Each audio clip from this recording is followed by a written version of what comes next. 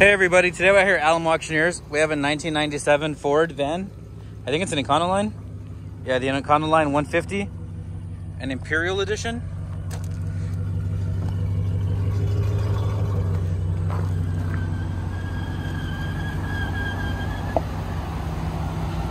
Has 137,000 miles on it. Give me one second, guys. Let's, let me get it. Let me get it lined up here real quick. Okay. Let me get under the hood. It takes two hands.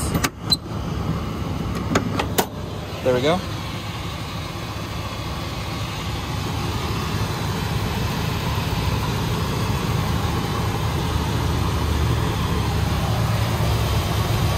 Runs pretty nice, runs pretty smooth.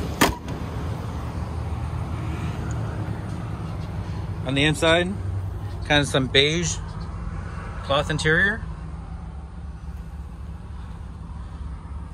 Some bed, some ceiling fans.